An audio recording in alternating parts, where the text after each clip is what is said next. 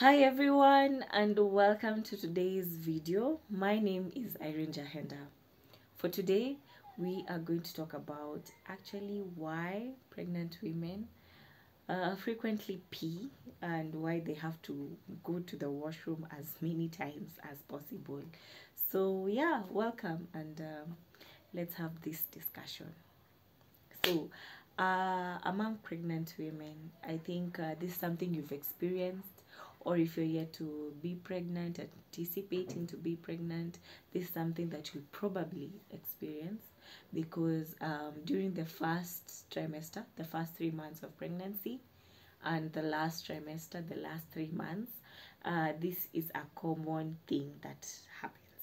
So, in the first trimester, you get to see. Um, you get to if you're a first time mom you get shocked because the number of times you after you actually have to go to the washroom increases. And it's usually beyond your control. Like you're trying to hold it to hold that short call but it's not possible. It's not happening. You have to go.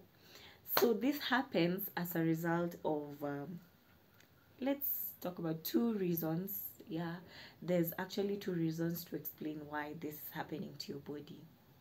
So number one number one reason why this is happening is actually because um, once your body gets to know that uh, there's uh, another being growing inside you your brain sends signals to the kidney and tells it kidney you know what you have to you have to you have to uh, increase the the urine that is being uh, removed from the body because one of the functions of the kidney is actually excretion. So once there's a human being growing inside you it means the waste will increase the waste will increase because the the being is totally dependent on your body.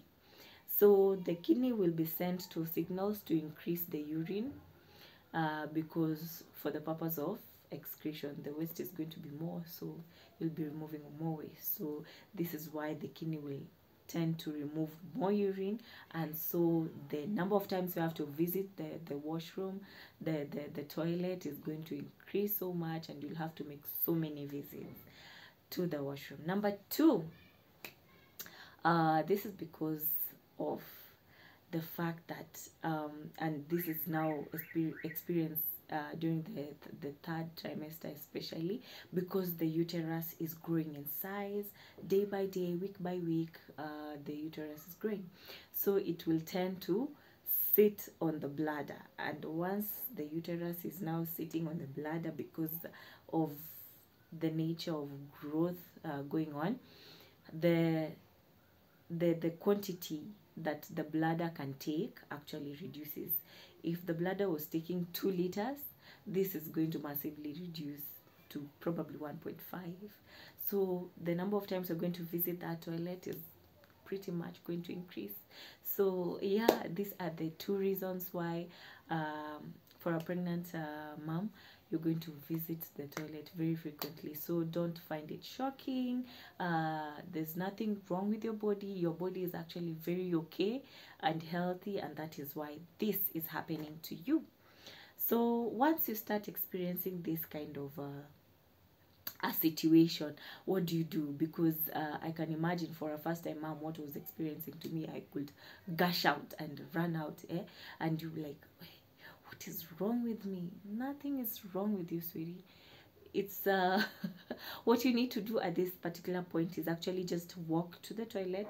It can be fast paced and taking in deep breaths so that um, your body is learning uh, to adapt to this kind of a situation. So don't just run and gush out to the washroom because this kind of a mechanism can go totally wrong with you and um, yeah just as a way of controlling it just taking deep breaths as you're trying to control this kind of a situation.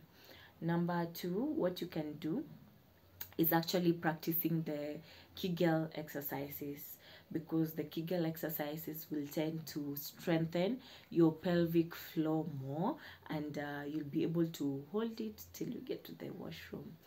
So yeah you can do this for uh, stay at home moms for working moms this can come in very very helpful.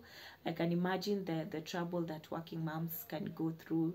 Let's say you're attending a meeting for two hours and you're here the number of times you have to visit, visit that washroom is just way too much. Uh, don't be hard on yourself yeah?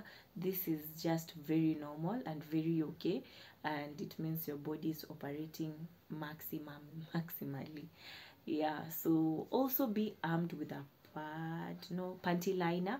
Yes have a panty liner so that uh, in case because some mothers uh, note that once they sneeze once they cough uh, you can experience some leakage so that um, yeah things don't go wrong. Just uh, yeah have your panty liner so that you keep thing keep things in control and in check. And remember to be to be good be kind to yourself your body is actually doing the most at this time. So it's very normal very okay just handle the situation in the best way possible. So yeah all the best to new moms expectant moms. Everything's going to be good. Be healthy stay healthy.